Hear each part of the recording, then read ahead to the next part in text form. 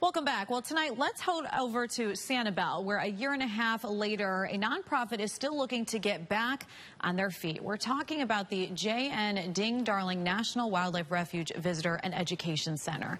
Well, tonight, our NBC2's Mohammed Abdul Kawi went to that center to talk about the reopening because it's been temporarily closed to complete renovations after Hurricane Ian.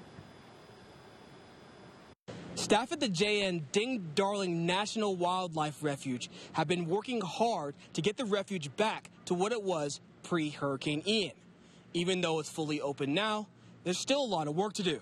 We're just really excited to welcome people back. On Saturday, Families from all over were welcomed by staff members at Ding Darling Visitor and Education Center. Which is a place people come before or after their time out on the wildlife drive just to learn about, you know, the history, the wildlife they'll see. Visitor Services Ranger Jessica Berry also explains it wasn't an easy route to get to this point, as Hurricane Ian took a huge toll on the refuge. We're really grateful for all the help that we've got from U.S. Fish and Wildlife Service, sending people from different states to help us.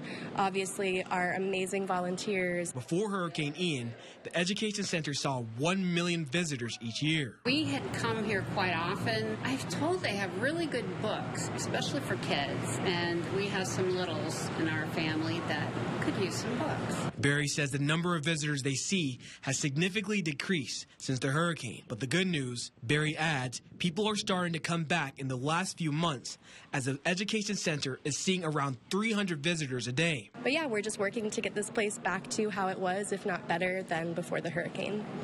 The Refuge Center is open from Saturday through Thursday, free of charge, from 9 a.m. to 4 p.m. I'm reporting here in Sanibel, Mohammed Abdulkawi, NBC2.